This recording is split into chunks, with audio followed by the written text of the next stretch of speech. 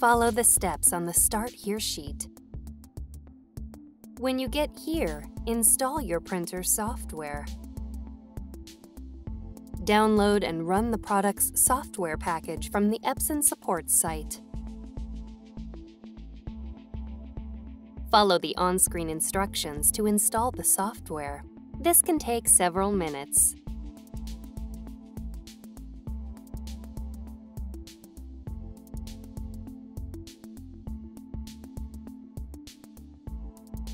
If the installer is able to detect your wireless settings, you see this screen. Select Yes, then follow the rest of the on-screen instructions. The installer will automatically connect the product to your network and your setup is now complete. Otherwise, select Wireless Connection and click Next.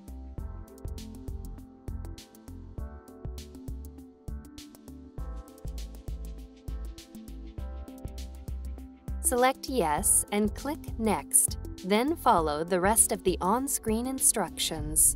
The installer will automatically connect the product to your network, and your setup is now complete. If the installer is unable to detect your wireless settings, you see this screen. Select Using Control Panel and click Next. When you see this screen, look at your printer's control panel Tap this icon, then tap Router.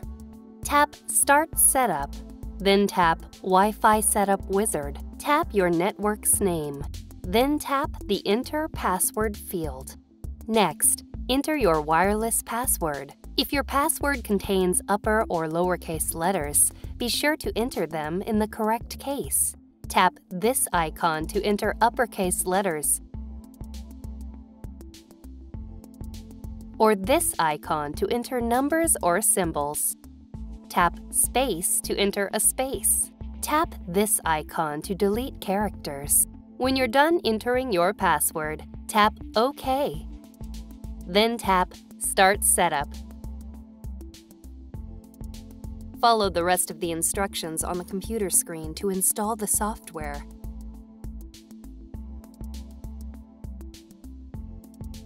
When you see this screen, click Next to launch Epson Media Installer.